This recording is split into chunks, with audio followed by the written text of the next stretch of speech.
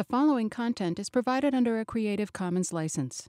Your support will help MIT OpenCourseware continue to offer high quality educational resources for free. To make a donation or to view additional materials from hundreds of MIT courses, visit MIT OpenCourseware at ocw.mit.edu.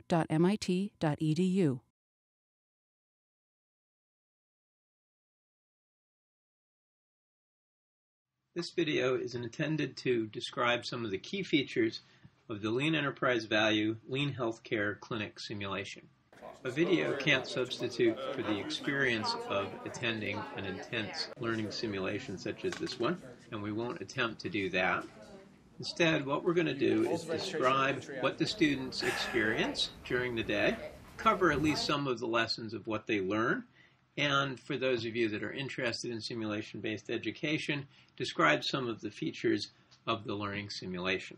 The simulation itself and this video are broken into three pieces, three modules. One is the learning of the simulation itself that's accompanied by some background information in how lean applies to healthcare and some simple tools for getting local processes under control. The second is a structured improvement using value stream mapping, capacity calculation, and a planned improvement method to improve the local processes at each clinic to make them at least functional. And the third attacks problems that uh, cannot be handled at the individual clinics. And in this exercise, the uh, entire group of students participates in a simulated rapid process improvement workshop where they break down into functional teams and do a complete re-engineering of the clinic process across the whole room with cooperation between clinics in order to solve some problems that are unsolvable at the local level and also create a overall very high performing clinic environment. Basically, what you are in, in our simulated world is a group of outpatient clinics. Um, we have an old process that is not very good. There's high variation in workload in the, in the processes. Um, the overall performance is pretty poor. We're going to actually let you experience that. You're going to you're going to play with it. Um, you know, maybe for a little while you'll be you'll you'll be uh, you'll be learning how to do it, but it's not that complicated. You should be able to learn your own jobs pretty quickly, and then but then you will find that it still doesn't work very well because the system itself is set up um, not very well. At that point, uh, the simulation, once you've learned it, becomes a practice field for applying lean techniques. What can we do to make this process better? This is what we're going to do. We're going to have basically three segments. The segments will have one or two rounds of play each. Um, we're going to first learn the simulation. That's what we're doing right now. We're going to apply lean locally at each of your tables. You will strategize and apply some lean interventions to make your uh, individual clinic work better. And then we're going to do another round where we start thinking about, well, there's only so much one can do locally. What are some of the things that we can do by coordinating across our whole healthcare enterprise by expanding our vision of the value stream beyond just the one uh, clinic uh, so that the whole room can work together to make a more efficient system. That, for example, shares resources or uh, redirects uh, patients to places that are better able to uh, take care of them what we're going to do in this module is, is, first of all, just learn how to play the simulation because the, the idea that we would like you to get is to think about this as a process that mirrors, perhaps does not exactly simulate, but mirrors the kind of process that you'd see in, in a clinic or ER where, um, where a patient is flowing through the system and we're trying to get that patient value stream to be lean. Um, so we're going to learn simulation. We're going to experience the frustrations of a not very good uh, process and apply a couple simple lean tools to try to get it to at least perform at a, at a minimum level. Key thing right now, though, is to kind of wrap your brain around the sim so that we can stop thinking about it. Because later in the day, what we would like to do is think about this as a process and apply lean tools and analyses to it so that the, the game, as it were, uh, sort of fades into the background and we worry more about the, the realities of the, of the tools and uh, using them to improve the process that's embodied in the simulation. The rules are very straightforward, and in fact, they're, they are pretty much in front of you. If everyone has a mat in front of them that says process, and if you just read that and execute those actions faithfully, you'll be fine. Um, it's important that you do that because that's the basis for future improvements. If you don't understand the process, it's going to be difficult to improve it. So round one and the minute is, is the time. You'll now be referring to this rather than making those times up. Um, you have 12 minutes to get things done. If you are not done in 12 minutes, you can no longer process, you can no longer register any new patients, but you have three minutes of overtime to finish the existing patients. And I will reset the clock at that time, um, and then we'll count up to three minutes. So ready and go. This montage will illustrate some of the features of the simulation. Oh, it's a long one. The simulation involves processing of little Lego people, little Lego patients, through a simulated clinic with uh, various functions such as registration, triage, uh, examination, diagnosis, uh, and discharge. The uh, simulation has a fair amount of paperwork. A lot of it is uh, a little frustrating, a little bit redundant. Some of it is unnecessarily complicated, although the paperwork does have important information that affects the flow of the uh, patients and their treatment. Timers are used to represent the capacity of the system so it doesn't turn into a race to get things done, although physical dexterity is sometimes required. There are a lot of manual steps, but the basic processes uh, are represented by the timers. And those are ultimately the constraints on the system that allows the students to focus ultimately on the process itself rather than the details. Body color. Body color The variation in the system is represented a couple different ways. One is by the uh, patient himself. The little Lego patient has uh, different colors of head, body, and legs that affect the uh, the diagnosis. This is the each patient is different phenomena. Um, the actual process variation is represented by dice uh, that require that create a unpredictable uh, source of variation at each station, and these can affect both the time it takes to process the individual patient and in some cases, in the case of diagnosis, the dice can indicate whether a test is failed or passed, or whether the machine fails to perform and the test has to be done over. The uh, patient sometimes have to leave the table and go to a, uh little Lego hospital. So there are some externalities um, to the system. Sometimes the uh, the clinic cannot handle a given patient.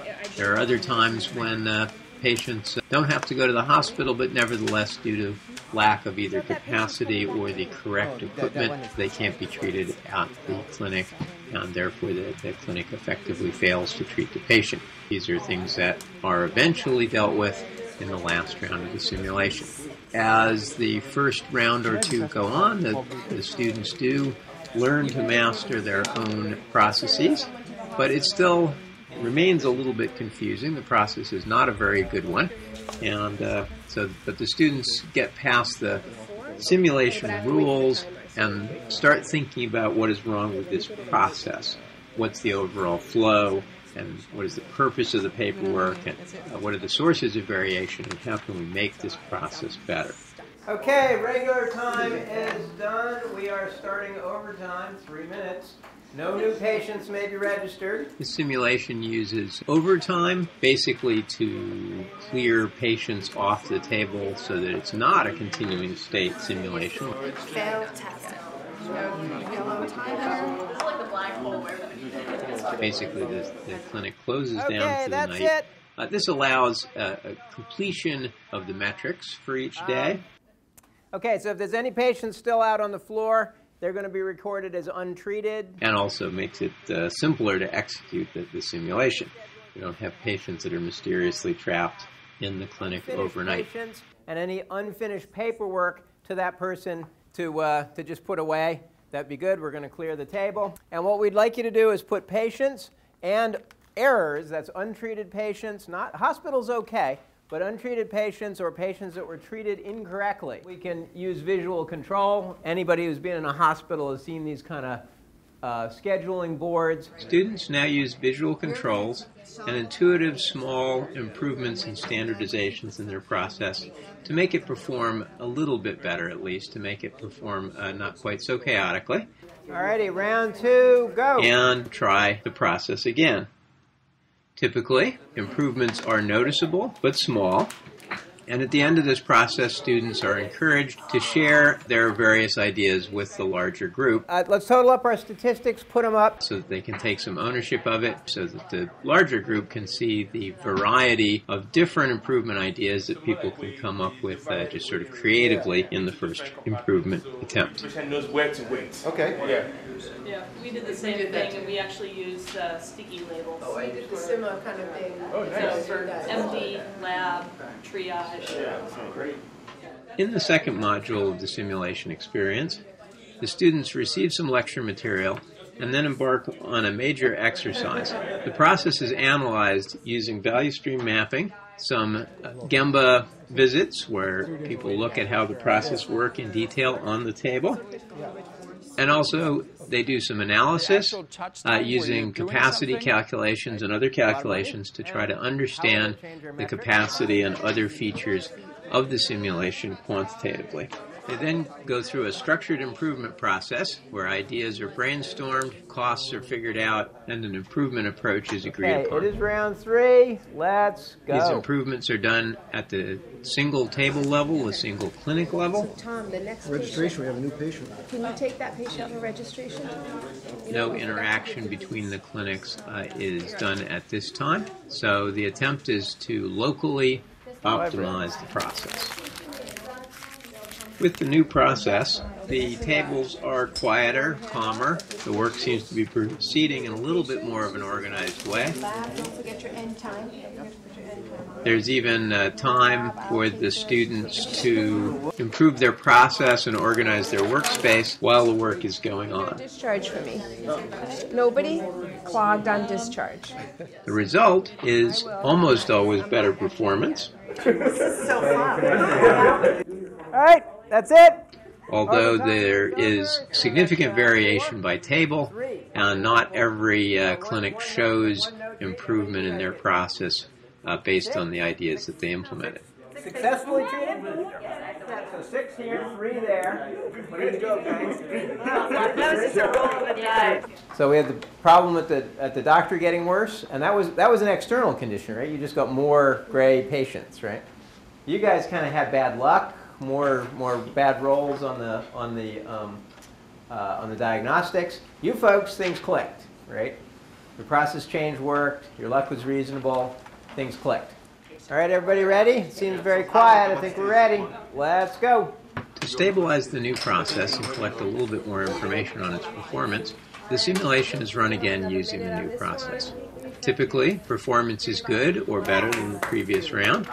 However, the performance varies by table still, and the students observe that there's high variation and factors beyond their control, which are still limiting their performance to a level lower than they would like. Didn't ultimately have success in this round. They, they have identified a shifted constraint. These guys are definitely getting better, and same thing, right? Shift, they've, they've identified the same problem. You guys, everything was going great. Is there anything, if I asked you to do 10, what, what would be the problem? Oh, okay, so there was a bottleneck at the discharge at the end there. Okay. a lot of bad luck in our failed test. In failed tests, okay. Bad luck. Everybody had bad luck. What does that tell you?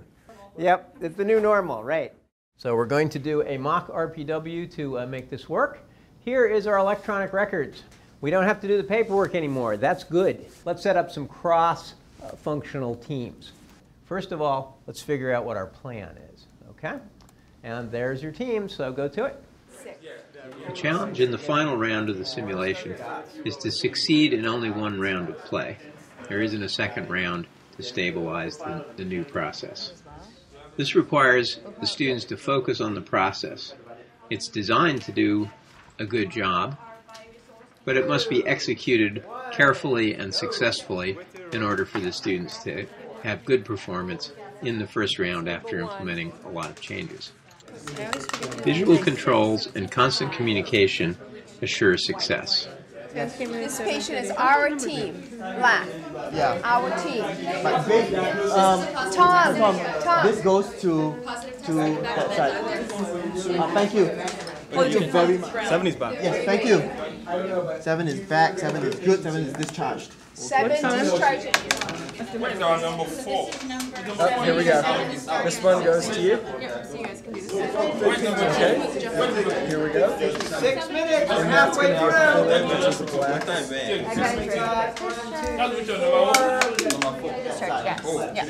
Clock here, we'll never overrun. You guys got it. Yeah, right, the last patient is winding their way through the, uh, through the otherwise empty clinic, right? It's gone from being a mob scene to being like this one person. The thing that worked really well was the fact, you had, you had this simple system. There was a lot of yelling, but everyone could see what was going on, right? And everyone was communicating.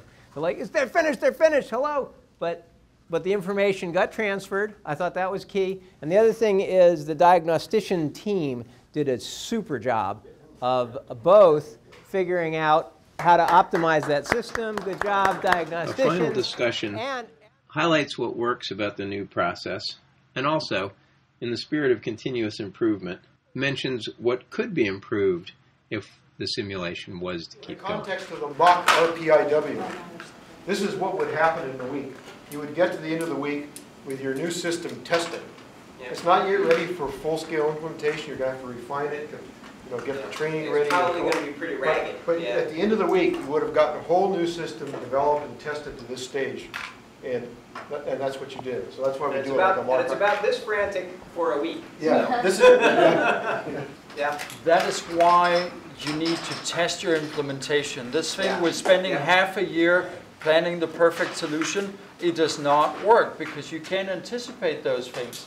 So you launch, you look at what doesn't work and you fix it, you relaunch, and that's how you just run through the cycles. Yeah, the So forget- cycles.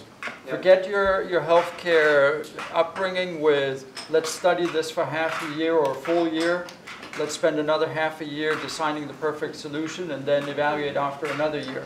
That's not a good way of doing it. Do it this way.